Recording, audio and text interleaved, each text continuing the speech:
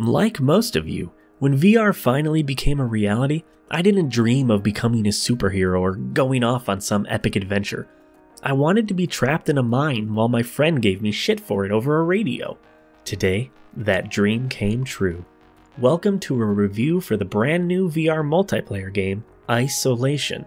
Yes, it's a pun. This is an asymmetrical VR game, meaning one person is in VR while the other person is on PC.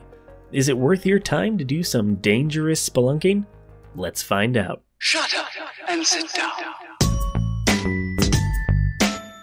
Like many great stories, it all starts at a Soviet Union military base in Siberia. The senior researcher smartly stays in a nice heated tent while his dispensable colleague ventures into a nearby mine. Of course, there is a cave in, and now that poor colleague has to find a new way out while his safe and warm boss uses maps and essays about elevators to help him along. Slightly more of the story begins to form as you wander around the dark corridors, finding radioactive goo and weird ancient devices that would probably summon aliens to kill us all. But for the most part, the story you create here is the banter between the VR player and the PC player. And by banter, I mean insults and swearing. I'm always right. Oh, and she's always right. Why don't you shut up? The maps look like maps and the essays look boring, so they really nailed that aspect of the game. I will say, I think it's a great touch on the developer's part to include a tiny window of what the VR player sees on the main screen.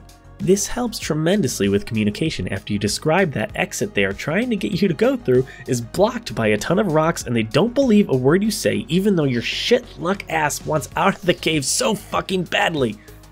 Uh, anyway, as for the VR player, it's quite basic on the graphics front. Everything looks relatively bland, except for those killer Soviet flags. So beautiful.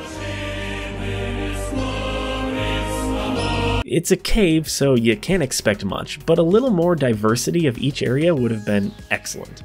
Quite a few objects were interactable, but 90% of them did nothing, and it was near impossible to tell what you could put on your belt and what would just fall through the world.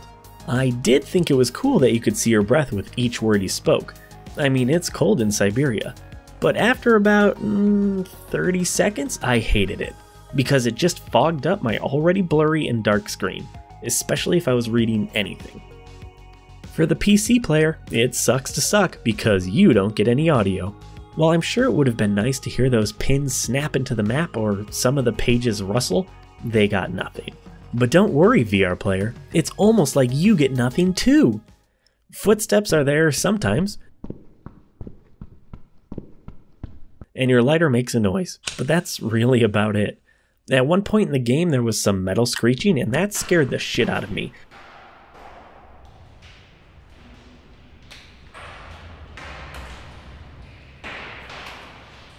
But otherwise, it was mostly just a silent adventure. It's a bummer, but I do understand this choice.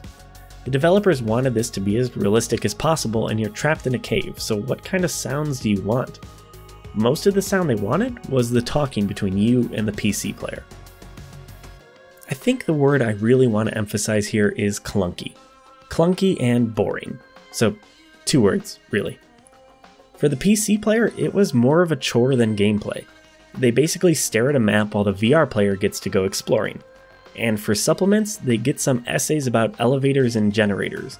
It wasn't engaging and they didn't have any means by which they could feel a part of the game. They were an instruction manual. Do you want to be an instruction manual? no, you want to do something. For the VR player, it was just so basic. You wander around very similar looking rooms in the cave, and that's about it. They use a teleportation method between rooms, and that really killed the immersion for me. I'd start to feel slightly claustrophobic or nervous, and then bam! Oh yeah, I'm in a game. I did like the fact that you could light candles to see where you've been, like some sort of trail. That did prove useful, but there weren't any fun surprises in different rooms or crazy adventures to be had. I was just wandering, hoping my friend on the PC could tell me which way to go before he died of boredom. My friend and I played for a bit over an hour and we never managed to escape. I felt like we were close. We found an elevator and later a generator for that elevator, but we couldn't get it started. Hoping to excite us, I tried to play a record and it just fell through the table. I had a dream that being lost in a cave while my friend attempted a daring rescue would be an exciting adventure. It wasn't. I give Icesolation a 4 out of 10.